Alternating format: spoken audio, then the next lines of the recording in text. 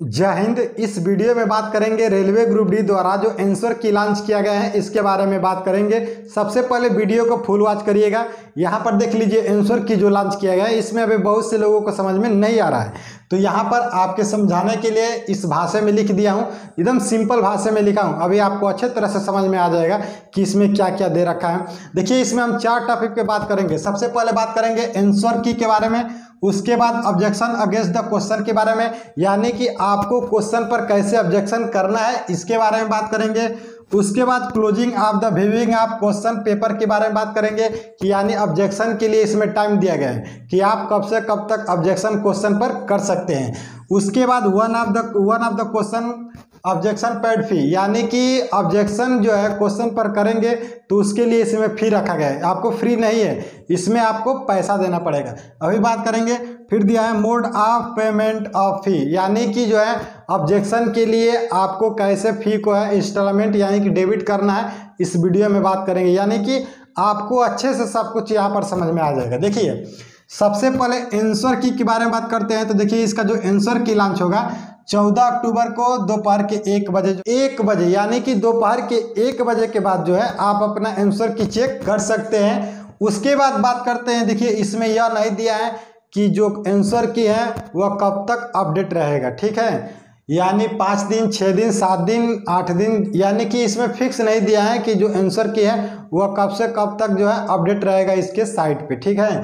यानी कि इसमें नहीं दिया है, लेकिन इस पर यह दिया है ऑब्जेक्शन अगेंस्ट द क्वेश्चन ठीक है? यानी कि यदि आपके प्रश्न पे डाउट है, यानी कि रेलवे द्वारा दिए गए क्वेश्चन पर यदि आपको डाउट है तो उस प्रश्न पर जो है आप अपना ऑब्जेक्शन कर सकते हैं। लेकिन ऑब्जेक्शन का जो टाइम दिया है, वह दिया है पंद्रह अक्टूबर को सुबह के दस बजे के बाद। यानी कि एक दिन में आप अपना आंसर की चेक कर लीजिए। आंसर की अभी अपडेट रहेगा। उसके बाद जो है, यदि आपको क्वेश्चन पर डाउट है तो पंद्रह अक्टूबर के बाद सुबह के दस बजे के बाद आप अपना जो है ऑब्जेक्शन क्वेश्चन पर कर सकते हैं।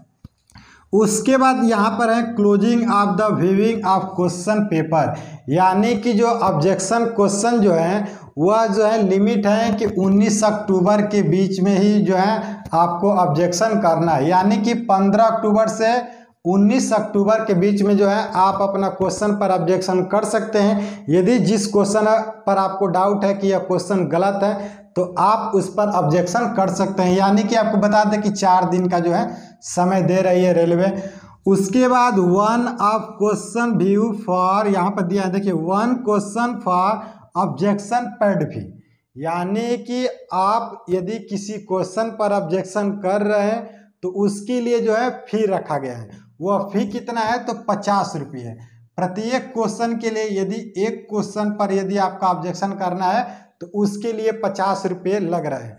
लेकिन देखिए, इस पर फ़ीस इसलिए रखा गया है क्योंकि यहाँ पर देखिए ऑब्जेक्शन के लिए फ़ी नहीं रखा गया होता है तो सभी लोग ऑब्जेक्शन करते, ठीक है? इसलिए रेलवे यहाँ पर फ़ी जो है रख दिए लेकिन एक पॉइंट और समझ लीजिए, यदि आपका क्वेश्चन सही पाया गया और रेलवे का क्वेश्चन गलत पाया गया तो आपका जो पैसा है वह रिटर्न हो जाएगा। यानी कि जो पचास रुपये दे रहे हैं, वो आपका रिटर्न हो जाएगा। एक क्वेश्चन के लिए पचास रुपये, दो क्वेश्चन के लिए सौ रुपये, तीन क्वेश्चन के लिए डेढ़ सौ रुपये। यानी कि जितना क्वेश्चन पर ऑब्जेक्शन करेंगे, पचास रुपये बढ़ते जाइए। यदि क्वेश्चन आपका सही हो जा रहा है रेलवे का गलत हो जा रहा है तो आपका पैसा रिटर्न हो जाएगा। उसके बाद mode of payment of fee यानी कि आपको जो है ऑब्जेक्शन क्वेश्चन के लिए जो है आपको कैसे जो है फ़ी को पेमेंट करना है? तो देखिए यहाँ पर दिया है कि ऑल बैंक का डेबिट यानी कि यदि आपका किसी भी बैंक का डेबिट कार्ड है तो आप जो है वहाँ पर डेबिट कर सकते हैं। देखिए, सबसे पहले बात करते हैं तो यदि मान लीजिए आपके पास यूबीआई है एसबीआई है सीबीआई है एचडीएफसी है बैंक ऑफ़ बड़ौदा है एसबीआई है आई है, जो भी बैंक है, ठीक है? आप वहाँ पर जाकर जो है आप उस क्रेडिट से अपना डेबिट कर सकते हैं। यानी कि जो आपका क्रेडिट कार्ड है, उसे आप डेबिट कर लीजिए। यानी कि आपको पचास रुपये देना है। यहाँ पर समझ लीजिए कि एक क्वेश्चन के लिए आपको पचास रुपये देना अनिवार्य है। ये नहीं है कि आप ऑब्जेक्शन कर रहे हैं तो फ्री में कर रहे हैं। आपका पैसा लगेगा, ठीक है? ऑब्जेक्शन पर क्वेश्चन करेंगे तो आपके लिए पैसा रखा गया है। लेकिन यहाँ पर बात करते हैं कि कैसे करेंगे तो आरआरबी के साइट पर जाना वहाँ पर आपका जो है ऑब्जेक्शन कर सकते हैं। यानी कि आरआरबी साइट खोलेंगे तो वहाँ पर ऑब्जेक्शन के लिए दिया है।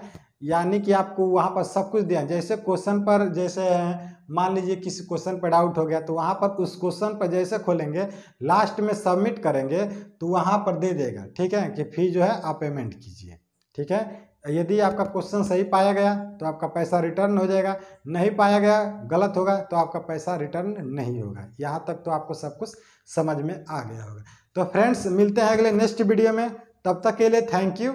जय हिंद, जय भारत।